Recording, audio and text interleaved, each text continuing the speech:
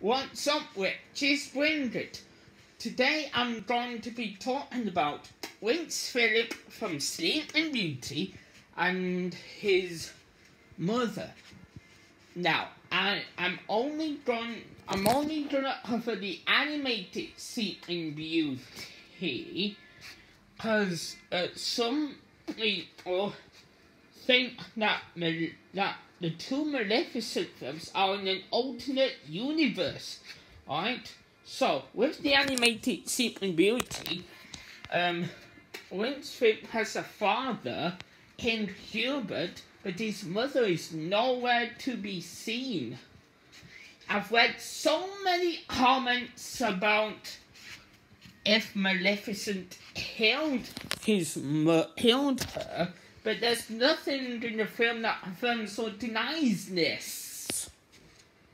Alright? So, um... I, I think the most easiest answer is that she's dead. Alright. Well, Probably she died in childbirth.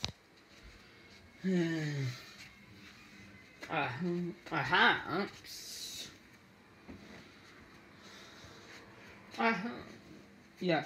In the original story, the the prince's mother was an ogre, a human-looking ogre, and um, I covered about Queen Ingrith being an ogre in another one of my videos. But like I said, some people think of Maleficent being in an alternate universe.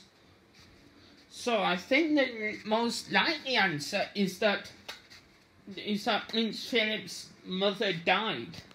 She didn't get to see Prince Phillip since his way Aurora or that to or since infamous dance with Aurora but yeah. So um perhaps it was to keep up the trend of missing parents. Because you know Walt Disney didn't have a mother. So yeah that's um the thing. Not so not so not set for for now. I'll see you in the next video.